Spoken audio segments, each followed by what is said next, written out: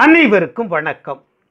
கற்பழிக்கப்படும் பெண்கள் அந்த நிகழ்விற்கு பிறகு சமூகத்தால் பல முறை மேன்மேலும் புண்படுத்தப்படுகிறார்கள்.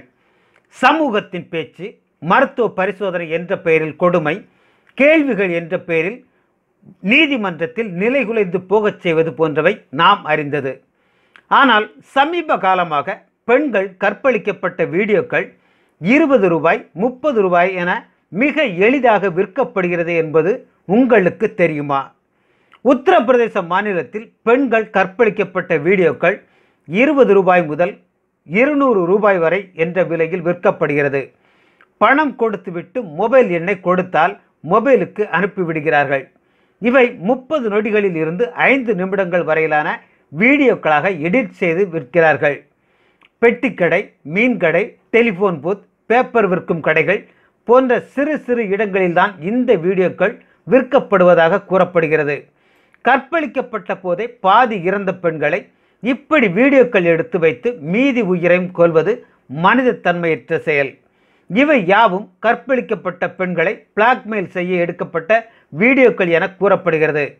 அந்த பெண்கள் போலீஸ் ஸ்டேஷனில் புகார் அளிக்காமல் இருக்க இப்படி வீடியோ எடுத்து வைத்து மிரட்டுகிறார்கள்.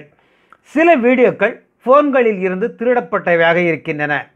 மொபைல் ரிப்பேருக்கு வந்தால் அதை சரி செய்வது மட்டுமின்றி அதில் இருக்கும் பதிவுகளையும் திருடிக் கொள்கிறார்கள் சில மொபைல் ரிப்பேர் கடைக்காரர்கள். இப்படி வரும் வீடியோக்கள் காட்டு தீ போல பரவ துவங்குகிறது.